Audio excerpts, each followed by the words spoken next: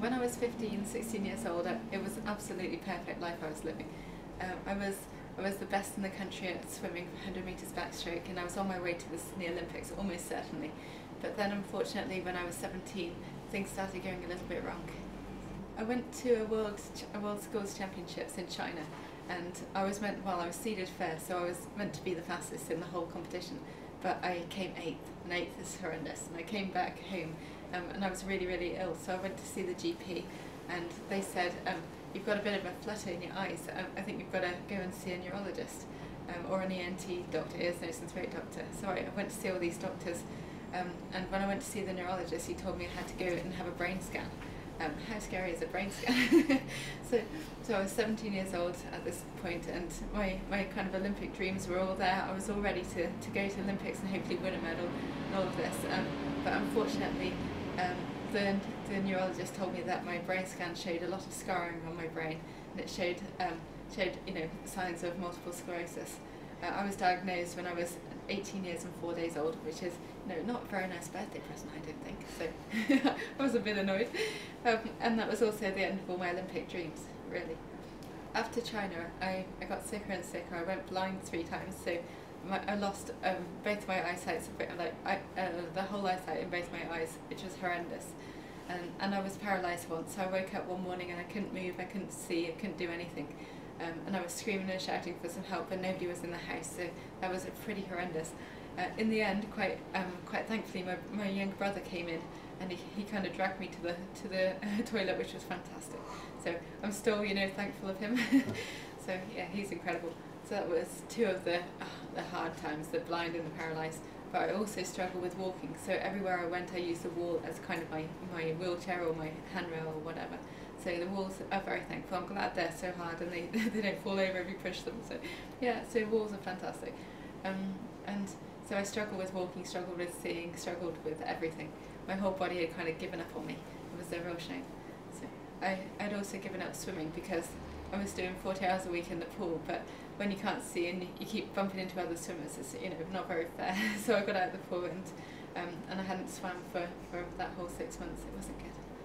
When when I was diagnosed with MS, there was one drug that could have helped me. It's called beta interferon. Um, and beta interferon is an injection drug, so I would have had to learn to inject myself. But obviously, I had a fear of needles. This was, you know, not nice. So, um, but I wasn't allowed the drug because I lived in Wiltshire and not in Bath, North East Somerset, or you know anywhere else in the whole whole country. And because the National Health Authority, for some reason, didn't offer it in in my uh, my county, I had to had to try and fight for it. The Bath Chronicle definitely got on my side, and they they publicised my my little fight lots, and um, they were fantastic. But the, I also had the MP James Gray, who was the MP of Wiltshire, and he took me to the House of Commons and we went and fought for, for my case really and fought for everyone in Wiltshire because this is meant to be a you know national health authority, not a you know semi-national health authority. So in the end, I won the won the drug, I won the fight, and um, I was allowed the drug on a, an apparent trial basis. Um, but I, I learnt to inject myself. I learnt to take these, these this medication, and it definitely helped me. Um, even if it was only you know psychologically, it definitely helped me. About five or six years later, um, I, I was back in the pool with a friend of mine and uh, I, and they said, can you teach my friend how to swim? And I wasn't very good at swimming then, I was just kind of trying to lose, lose some weight. Because uh, the first time I went back to the pool, I asked my mum to come with me. And because I needed some help to get to the pool and, you know, from the pool back to the changing rooms. Um, and my mum said, there's no way I can come with you again, it's just too hard for me.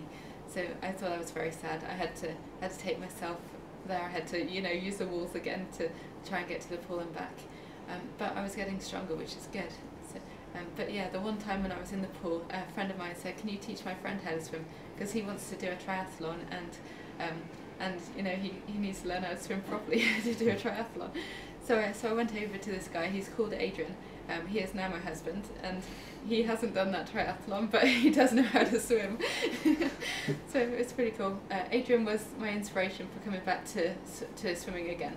Um, he said, "You've still got the strokes. You you still you know you're still a good swimmer. Why don't you go to London tw- London 2012 because we've just won it. You know you might as well go back as a Paralympic swimmer." And I said, "No, I'm too old, too fat, too ugly, whatever." I, I gave him all the excuses, but it kind of got the the brain thinking, "Yeah, maybe I could because I still had that Olympic dream. You know, I still wanted that, or I still want that Olympic gold medal. I'm still fighting for that Olympic gold medal. I've got silvers, but no, no, no gold yet." Um, and so I went, I, I found myself a coach in Swansea, so I had to move to Swansea for a little while. Um, and his his name is Billy Pye, and he taught me, or re-taught me how to swim properly. Um, and we went to Beijing, got off seven weeks of training, and I won fourth, fifth, and sixth place, which is not too bad off seven weeks.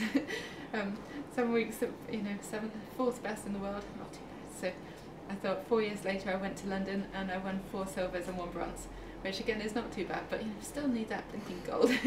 the book started basically because I wrote a poem one day when I was crying my eyes out. Obviously, losing every losing your whole life is you know quite a bad thing, so I was crying away.